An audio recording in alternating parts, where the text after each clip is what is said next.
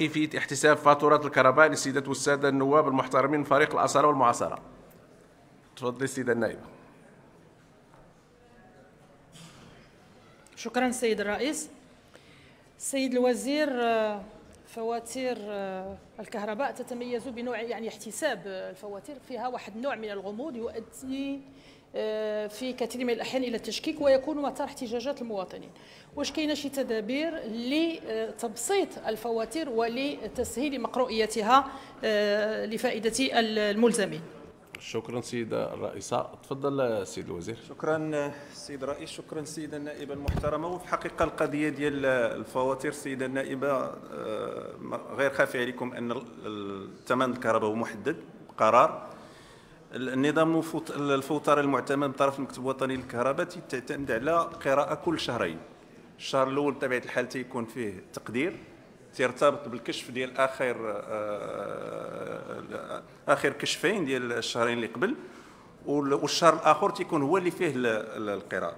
فبالتالي الفاتورة تيكون فيها المبلغ ديال الاستهلاك حسب الأشطر وحسب النوع واش لاهوت ولا لا موين ولا لا باسطونسيون وكذلك القضية ديال الإتاوة. ثابته فيما يتعلق بالكراء وصيانة العداد. ورسم النهوض بالفضاء السمعي البصري للزبناء الذين يتعدى استهلاكهم 200 كيلو في الساعة. ورسم على الضريبة القيمة المضافة. وهذه بطبيعة الحال مع بعض الأمور التي تأتي في إطار التعاقد بحال دابا بعض الأمور التي تنص عليها الفوتره فيما يتعلق بلي ريكلاماسيون إلى غير ذلك. هذا هذا هذا الشكل هو شكل مناسب لأن تيعطي إمكانية للزبون بطبيعة الحال أن يطلع على استهلاكه. إذا كانت هناك ملاحظات يمكن أن ناخذها بعين الاعتبار. شكرا سيد الرئيس. شكرا سيد الوزير تعقيب سيد النائب سيد الوزير هذا هذا الشيء اللي تكلمتي عليه هو المشكل. كتجي الفاتورة الأولى فيها مبلغ تقديري. وفيها النص ديال هذا الشهر والنص ديال الشهر الأخر. من بعد كتجي واحد الفاتورة أخرى فيها المبلغ الواقعي اللي فيه هذاك الشهر الثاني ومن بعد الشهر الأخر اللي جاي. وبالتالي يصعب على المواطن إنه يراقب الاستهلاك ديالو. ثانيا المراقبة ديال العداد بشكل منتظم ما كايناش. والحجة عند المسؤولين هي قلة الموارد البشرية. فأنا سؤالي واش هذا المواطن قدر هذا المواطن هذا أن يكون ضحية التدبير السيء ضحية قلة الموارد ضحية الاختلالات اللي كتكون في هذا الصندوق والتي أفرزت الزيادة الأخيرة في التسعيرة اللي عرفناها واللي كان عندها واحد التأثير واحد الانعكاس سلبي جدا رغم أن الحكومة تحاول الترويج لعكس ذلك ولكن الواقع لا يرتفع.